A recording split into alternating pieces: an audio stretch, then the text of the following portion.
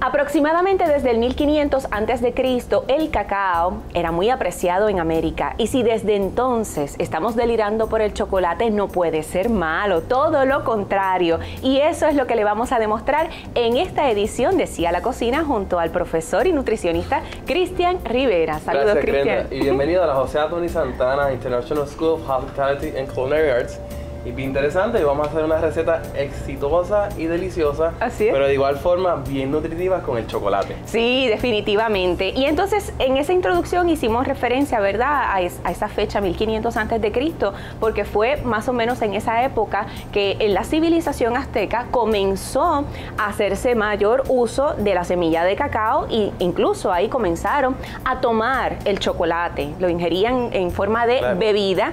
Incluso esa semilla la usaban como moneda. Como moneda, como trueque. Exacto, como trueque. Así de valiosa era. De manera que, inspirados y en honor a esta cultura, a esta civilización, tomamos nuestra primera receta de la gastronomía mexicana. ¿Qué es lo que nos vas a hacer? Así que vamos a hacer una salsa de mole. Y lo interesante es que el mole es la salsa, ah, ¿verdad? Es una salsa típica. Entonces, dependiendo del lugar en México donde se esté, donde se esté cocinando el mole, pues se le pone el nombre en específico. Ok, correcto. Así que dependiendo de la región, es el, el tipo de mole que vamos a hacer. En este caso, el apellido del mole es poblano. Poblano porque el Estado de Puebla es el que, reclama, su, creación. Muy bien. Así que vamos a hacer los chiles poblanos. Sí. Que en este caso son estos que tengo por aquí. Y estos están, estos están disecados, ¿verdad? Así que se ponen de este color. No obstante, tenemos un sinnúmero de chiles secos. Sí, hay muchísimos. Eh, están los habaneros, que son más picantes, ¿verdad?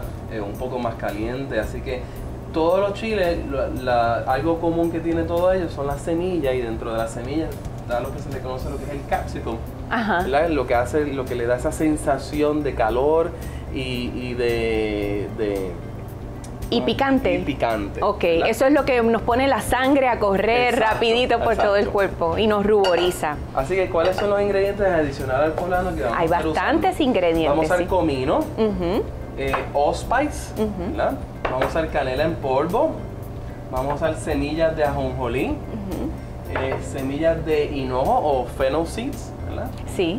Y semillas de calabaza.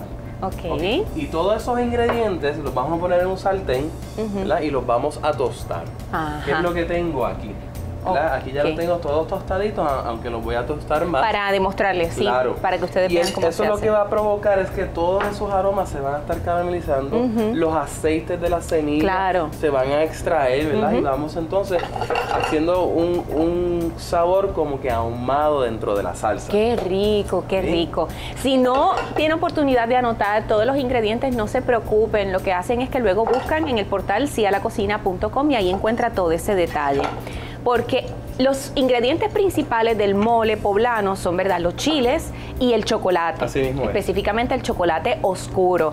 Pero aquí Cristian está trabajando esta receta con aproximadamente 15 ingredientes. Y esa es la magia de esta salsa. De hecho, hay recetas de mole que tienen 20, quizás hasta 30, ingredientes. Así que usted ya sabe que esto es... Más sencilla.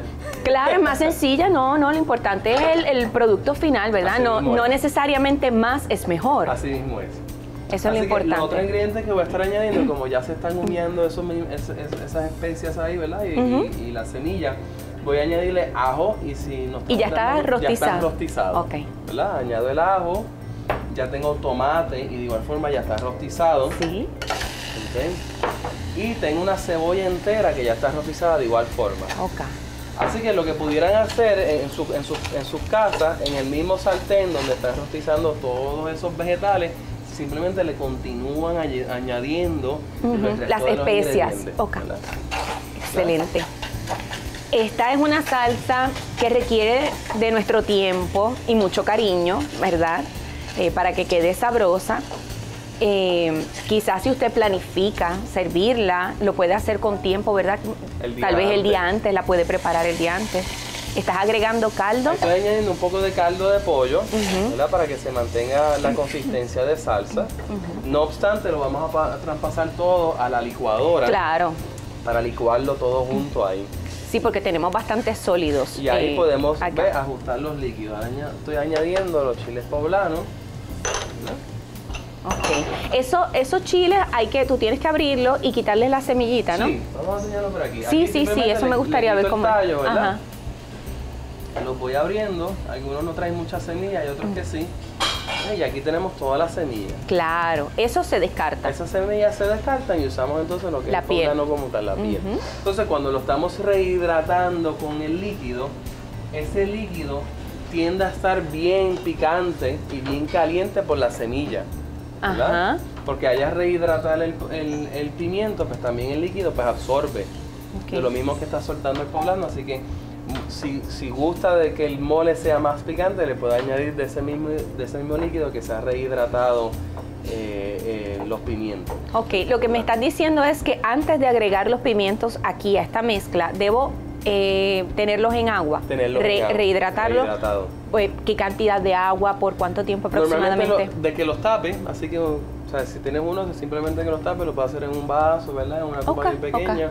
Este, de 10 a 20 minutos en agua tibia o agua de la pluma. Ah, más o menos fría. temperatura ambiente, ni fría, pero tampoco tengo que ponerlo a calentar Así en la estufa. Ok. Así que aquí vamos ahora entonces a la licuadora. Vamos al procesador. El chocolate no lo has incorporado todavía. Muy bien. que se. Ok, que de eso vamos a estar hablando bastante. ¿Tú sabes cómo se llama el árbol que produce la semilla de cacao? ¿Cómo se llama? Teobroma cacao. Y es en serio. ¿De verdad? sí. Teobroma cacao.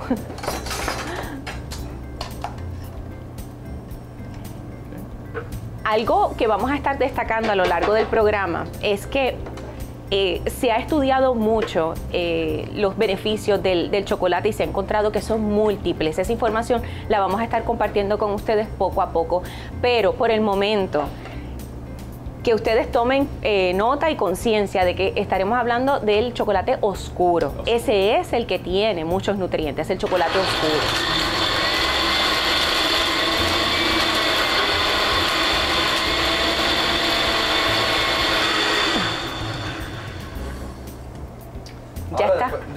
Licuado, pues lo ponemos nuevamente en el sartén con la Sí. ollita. Ajá.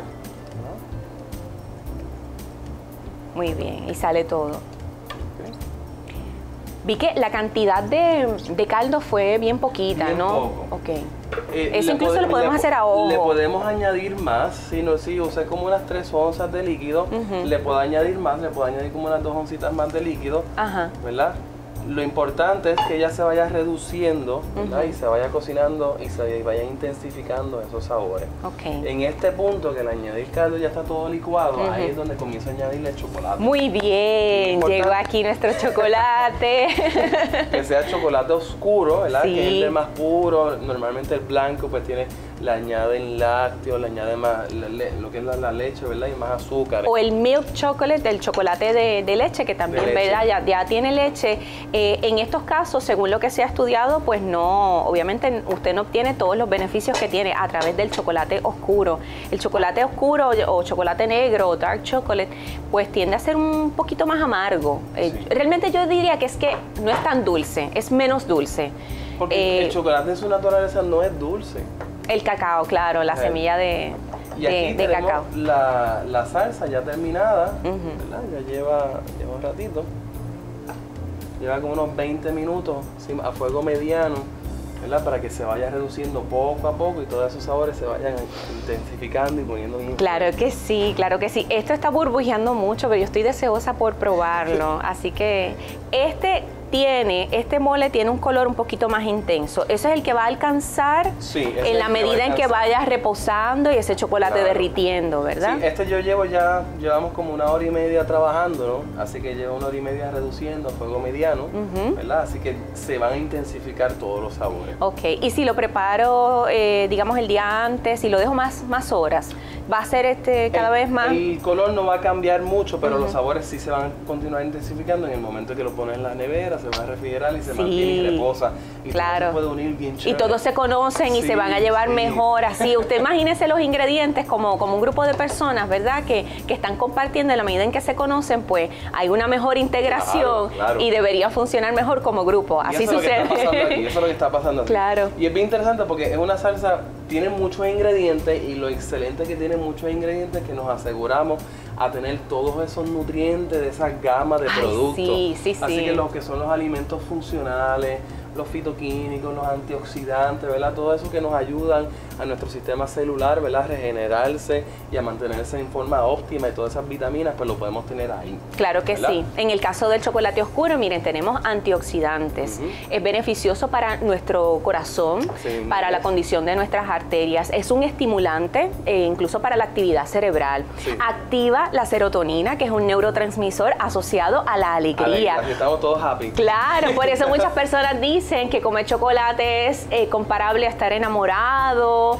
o a tener la experiencia de un beso, bueno, pero de verdad que nos pone, a mí me pone muy contenta. Yo creo que yo me como un pedacito de chocolate todos los días. ¿Sí? Oh, sí, sí, en serio, sí, todos los días un pedacito de chocolate. Realmente me fascina y el chocolate oscuro me encanta. la dosis, la dosis. La dosis diaria tiene que estar ahí, la dosis diaria. Por último, les estuvimos mostrando, ¿verdad?, Eh, la consistencia y el color de esta salsa de mole po- poblano.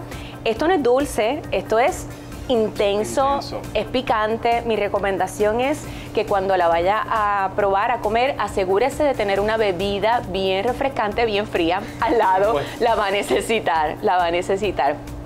Mientras tanto, eh, vamos a dejar esto reposar un poquito, reposar. que le baje un poco el, el calor. Y en el próximo segmento, amigos, vamos a estar entonces ya mostrándoles cómo incorporar el mole poblano a un plato que usted pueda servir un pollito desmenuzado, unas tortillitas de harina. De hecho, nos vas a enseñar, Eso ¿verdad? es lo que vamos a estar haciendo. Las tortillas de, De harina, harina hechas en casa. hechas en casa. Ah, pues no se pierdan eso. Hacemos una pausa, pero enseguida continuamos con más de Sí a la cocina con chocolate. Más videos en sistematv.com.